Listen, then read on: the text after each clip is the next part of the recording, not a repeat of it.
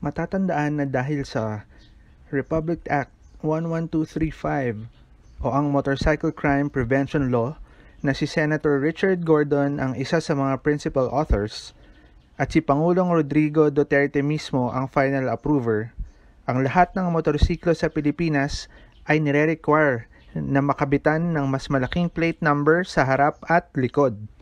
Kapag na-violate mo ang batas na ito, maari kang mamultahan ng aabot sa 100,000 pesos.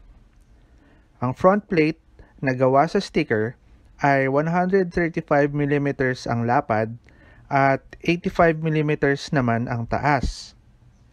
Ang rear plate naman na gawa sa aluminum ay magiging 235mm ang lapad at 135mm ang taas.